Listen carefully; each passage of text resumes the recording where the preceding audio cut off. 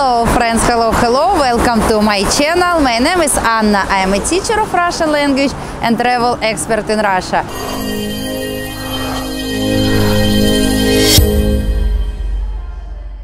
Today we continue our journey and we are going to Gorky Park.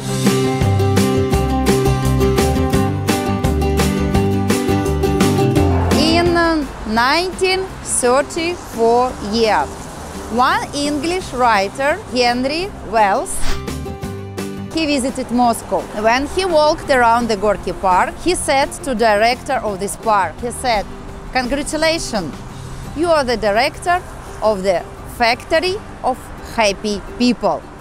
If you're interested to know what he saw in this park, what makes people happy, please continue watch this video.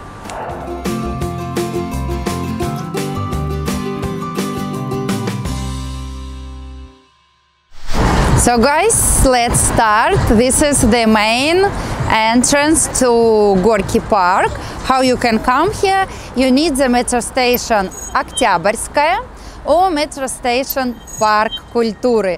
This is the main entrance, so we will uh, go inside and I will show you around. And let me tell you uh, a little bit about the history and uh, after history I will show you what we have and uh, how people become happy. A very interesting fact that most of people know the name of this park, Gorky Park.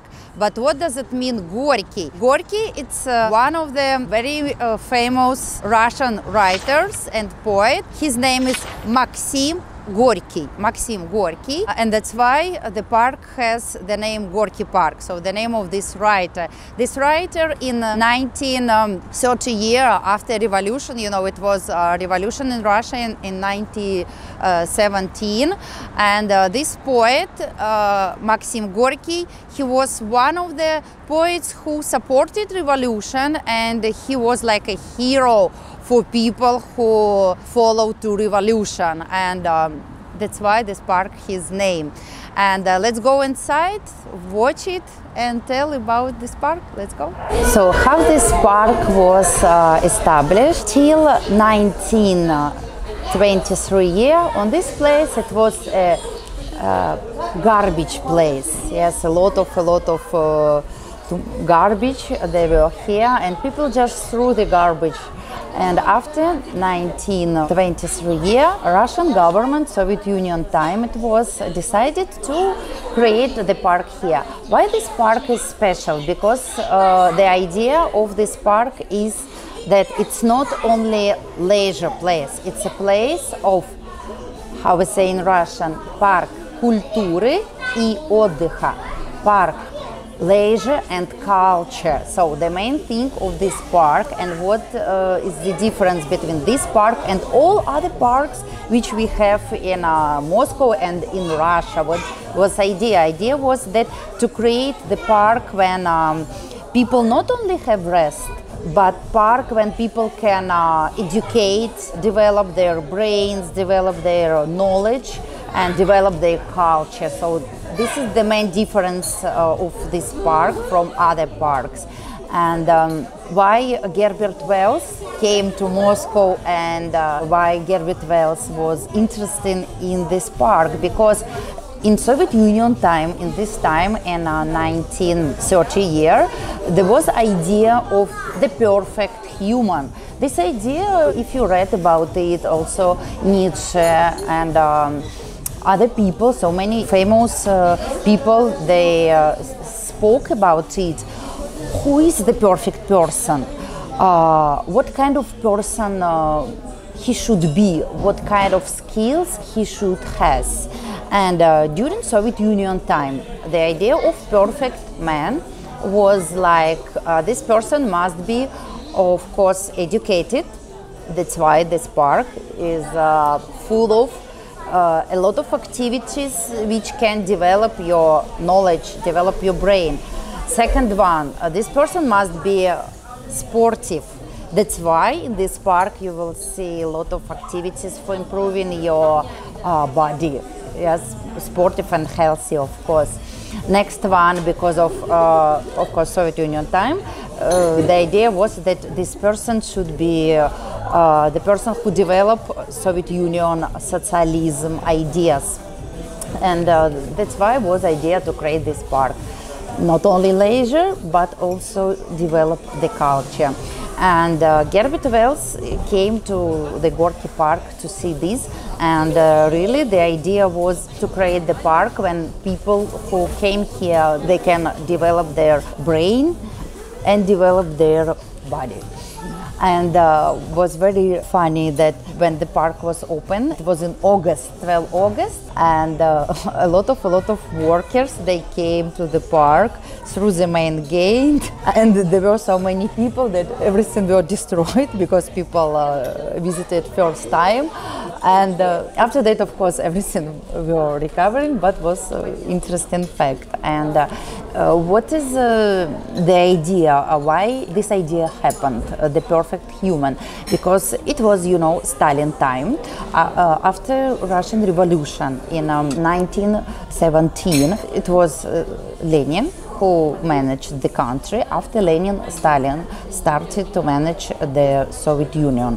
And um, at that time, uh, the Soviet Union government they saw uh, how can we develop people, how can we create a person who will follow to the Soviet Union uh, idea. What can we do for workers? Because people used to only work, not uh, have rest. And actually, it's true. In that time, it was not hedonism time, anti-hedonism. People didn't know uh, how to have rest And uh, because Soviet Union, it's a time that when everyone is equal, it's a workers' time and uh, time when um, people only work. People didn't know what doesn't mean have rest. As in a military language, in Russian, I will not say about all languages so I will say only about my culture. In Russian language, for military people, the word rest, отдыхать, have rest, means to sleep. So it means that you're only working and sleeping. You no rest. So rest means you go to sleep. Why you need rest? So we don't need rest. And of course, it's not good. Everyone needs some uh, rest. And idea was to teach people how they can have rest. And uh, the idea was how to do it to organize the schedule. In Soviet Union time, they called this park like one day holiday park and you will be happy. Like spend one day here and you will be happy. Very interesting that happiness has schedule. Mm-hmm. Let's maybe yes. so the schedule was like this. People came to this park in 9 a.m. They have breakfast. In this park, they were cooked around, you can imagine, 30,000 dishes. Every day, chefs cooked different kind of food. It was too much dishes here, and people have breakfast. After breakfast, they came for some uh, exercises, have rest, walking, and uh, 2 p.m. they had uh, lunch. After lunch, uh, one hour rest, and after that, they came to some um, after sport activities they came to the culture develop the culture. So first uh, part of the day you develop your body by doing sport and there were a lot of a lot of kind of sport any sport as you want. And uh, after that they had culture develop. So they came to this theater they watched opera or ballet and so on. So many uh, exhibitions so many museums they were here to develop your culture right? And then they had uh, dinner and uh, relax and go to sleep.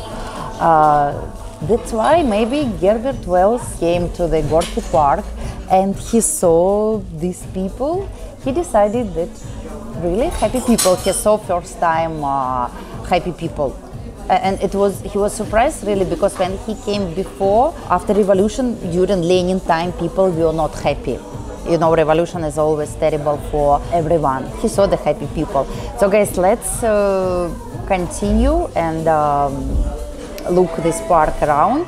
Uh, I hope today we will cover the daytime and the evening time. So guys, let's see what can we do here. This is Radisson Cruise boat and also there are a lot of uh, boats and uh, what you can do, you can come here, book tickets online and uh, explore the Moscow by boat. So the tour can be one hour or two hours and a half will be nice and you can cover all Moscow in the daytime or like we are doing now in evening.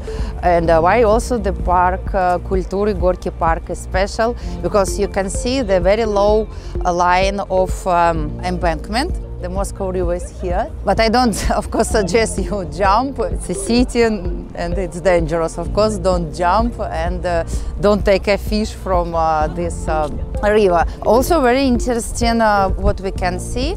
So uh, the Gorky Park, it's not only this park which we saw today. It's also uh, Neskuchny Sad, museum, and uh, Sparrow Hills, Воробьевы горы.